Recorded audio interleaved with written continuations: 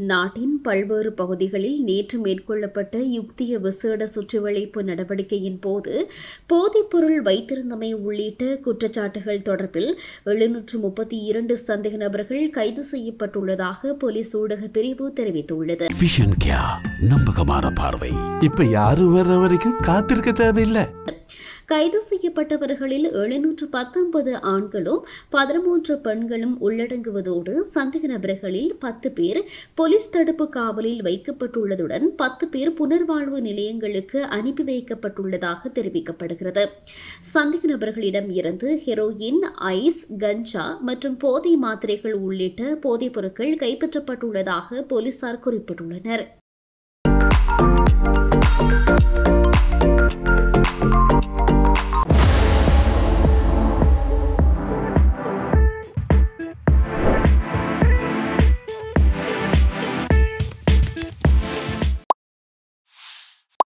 you